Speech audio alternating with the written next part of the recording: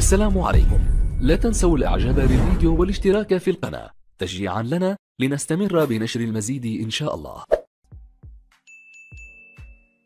قرارات مجلس الوزراء بجلسة الثلاثاء. أصدر مجلس الوزراء في يوم الثلاثاء قرارات جديدة خلال جلسته الاعتيادية التي عقدت برئاسة رئيس مجلس الوزراء مصطفى الكاظمي. وذكر المكتب الإعلامي لرئيس مجلس الوزراء في بيان أن رئيس مجلس الوزراء مصطفى الكاظمي ترأس الجلسة الاعتيادية السابع عشر لمجلس الوزراء وأضاف أن الجلسة شهدت مناقشة مجمل الأوضاع العامة في البلاد وبحث الملفات الاقتصادية والخدمية والوقوف على إجراءات تنفيذ الوزارات والجهات المختصة للتوصيات والقرارات الحكومية المتخذة وبما يحقق الأهداف المرجوة منها. وتابع أن المجلس استهل جلسته في مناقشة قضية التصحر وتأثير المتغيرات المناخية على العراق حيث استضاف مجلس الوزراء المكلف بإدارة وزارة البيئة والكادر المتقدم في وزارتي البيئة والزراعة للوقوف على تأثير تغييرات المناخ على البلاد والإجراءات الحكومية المتخذة لمكافحة التصحر. وأهمية توفير الغطاء النباتي في بعض المناطق الصحراوية. وذكر أن مجلس الوزراء اطلع على تقرير خاص عن مرض الحمى الحمى النسفية استعرض السيد الوكيل الفني لوزارة الزراعة تضمن مجمل الإصابات التي سجلت في بعض المحافظات والإجراءات المتخذة من قبل الوزارة موضحا أن المجلس وجه بضرورة مضاعفة الجهود للسيطرة على المرض ومنع انتشاره مما يتطلب تكثيف حملات التوعية. وأكد أن المجلس أوصى بتقديم الدعم اللازم لوزارة الزراعة لمواجهة المرض. توفير مبيدات الرش والتغطيس لمكافحة حشرة القراد وتوفير الأدوية اللازمة لمكافحة المرض وكذلك الدعم اللوجستي للحملات الإرشاد الإرشادية التي تقوم بها وزارة الزراعة. وذكر المكتب أن مجلس الوزراء قرر الآتي. استثناء وزارة الزراعة من تعليمات تنفيذ العقود الحكومية أساليب التعاقد في المادة الثالثة منها بما يمكنها من أخذ الإجراءات اللازمة للسيطرة على مرض الحمى النسفية وصرف المبالغ المتوفر لديها. استثناء من منشور وزارة المالية ولا يتجاوز المتوفر لديها فقط مليار و459 مليونا 972 ألفا و750 دينارا بحسب ما ثبت في كتاب وزارة الزراعة 12622 في 10 آيار 2022 وبين أن المكتب الجلسة شهدت استعراض التقرير الوبائي والإجراءات المتخذة لمواجهة جائحة كورونا ومستجدات عمل لجنة تعزيز الإجراءات الحكومية في مجالات الوقاية والسيطرة الصحية التوعوية للحد من انتشار الفيروس وجهود وزارة الصحة في توفير المستلزمات الطبية وتأمين اللقاحات. وذكر المجلس أن مجلس الوزراء ناقش الموضوعات المدرجة على جدول الأعمال وقرر الآتي أولا تعديل الفقرة الأولى الأولى من قرار مجلس الوزراء 379 لسنة 2021 بحسب ما يأتي. تولي وزارة المالية تمويل